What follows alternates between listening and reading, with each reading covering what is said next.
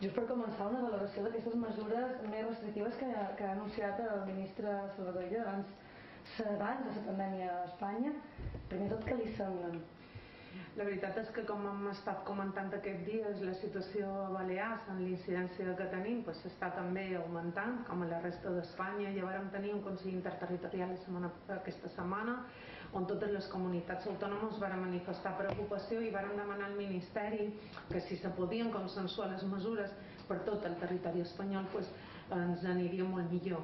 Nosaltres ja vàrem començar a treballar amb una nova resolució que revisava tots els eh, entorns i tots els, eh, tots els grups de feina que teníem de nova normalitat, eh, tant d'oci nocturn com de residències, de restauració, d'esports, de tots els àmbits, no? I, i a partir d'aquí pues, s'estava treballant ara durant el cap de setmana per fer aquesta resolució nova. Eh, continuarem amb els mateixos terminis i el que farem serà una transposició de totes les mesures que s'han anunciat.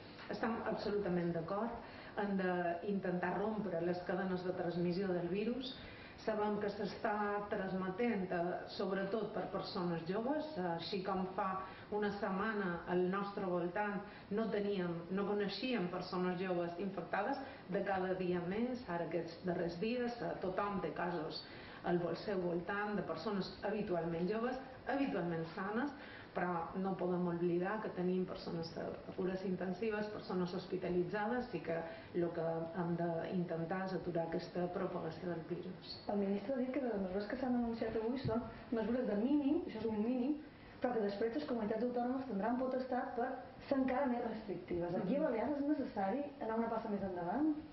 Uh, em pensar, teníem prevista alguna mesura que no estava que, que no està en, aquesta, en aquest pla de mesures que afecta aspectes concrets que ens han demanat els propis sectors no? que, algunes eh, en relació a l'esport per exemple i que s'aniran treballant aquest cap de setmana però bàsicament eh, nosaltres moltes les teníem avançades, eh, com per exemple la prohibició de l'oci nocturn en les grans discoteques pues, ja, no, ja estava així a, a les Illes Balears eh, i algunes eh, de fet ja s'apliquen aquí a les Illes Balears de les anunciades avui. La resta ens semblen raonables sempre dic que crec que eh, els empresaris han fet un esforç estan fent un esforç molt important tant de l'oci com de la restauració agrair aquest esforç que estan fent i també eh, dir que no poden continuar en determinades pràctiques que sí s'estan veient a pocs llocs però que són els que eh, fomenten aquesta transmissió del virus que són les aglomeracions i el no usar mascareta o no mantenir eh, mesures, mesures higièniques. O sigui, nosaltres en principi farem una transposició i probablement alguna matització d'alguna de, de les mesures ja adoptades. I que deia que sobre l'esport, és a dir, hi haurà una mesura, una mesura referida a esport? Mm, no, més que res és que per, per l'inici de les competicions eh, sembla, sembla que, que no podien començar l'1 de setembre i el, el propi sector pues, ens ha ens ha demanat eh, retrasar l'inici de les competicions. I llavors, per, i llavors per, mm, eh, el ministre Illa també ha fet una sèrie de recomanacions, entre elles demana a les comunitats autònomes que facin complir aquest, aquestes normes, aquestes noves restriccions.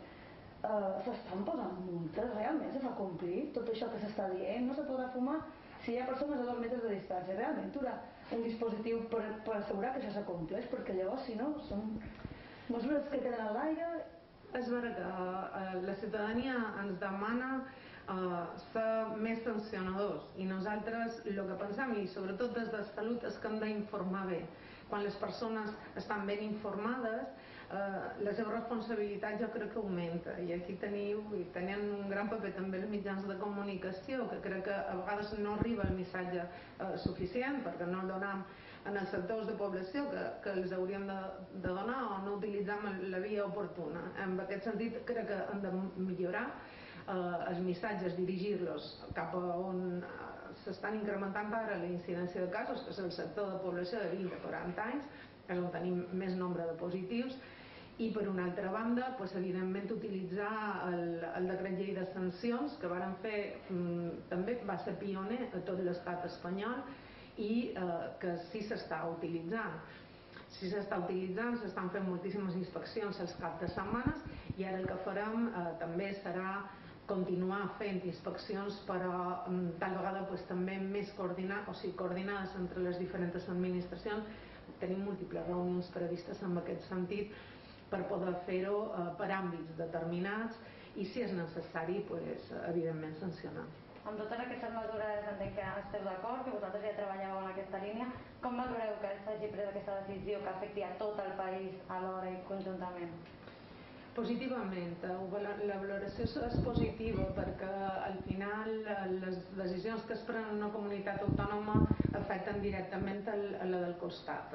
Molt més a la península que els territoris són colindants, estava succeint que ja s'estava traslladant gent d'una comunitat a l'altra en funció de les mesures que tenia. A nosaltres, a millor, Centilles no ens afecta tant, però sí que pensam que, donada l'evolució que hi ha, s'han de prendre mesures contundents ja per acabar, eh, parlant de joves, la majoria de focus es produeixen en gent jove mm. i d'aquí tres setmanes ha de començar el curs escolar. Ja sabem que això no és Conselleria d'Educació, és Conselleria de Salut. La Consellera de Salut creu que el curs escolar començarà en normalitat? Estem treballant molt, eh? estem, estem treballant molt. El conseller de Salut substitueix el conseller d'Educació quan no hi és. O sigui que la veritat és que eh, no podem agafar vacances enguany, però estem treballant de manera molt intensa perquè sigui una realitat. Des de fa mesos per identificar protocols molt segurs. Eh, jo acabo d'imprimir un munt de documentació per revisar avui mateix, és a dir, se faran reunions eh, probablement la setmana que ve ja per tancar els protocols. Evidentment, l'evolució de la pandèmia ens condiciona. Hem de mirar què succeeix no només a Espanya, sinó al voltant, al nostre voltant, dels països que ja han començat els cursos escolars, i nosaltres pensam que amb els grups d'imboia, sobretot, no, i tenint uns protocols molt clars quan se detecta un cas positiu, el que s'ha de fer, com s'ha d'aïllar, quines mesures s'han de prendre, pues, se podria controlar. De fet, aquí, a eh, les Illes Balears, de moment hem de dir que les escoletes on hi ha hagut qualque cas positiu han estat algunes amb un sol cas positiu això vol dir que els protocols funcionen molt bé eh, el pla de contingència ha funcionat de manera molt exhaustiva perquè si no tindríem molt més casos i només tenim un brot en quatre casos de moment, ja dic eh, on també s'ha fet una inspecció a l'escoleta i les mesures que s'havien pres eren eh, quasi per damunt de les sindicades, és a dir, que han fet molt, una feina excel·lent també des de les escoletes. Això no, ens dona eh, unes certes garanties no? de que si s'acompleixen els protocols pues, les coses poden anar, poden anar bé.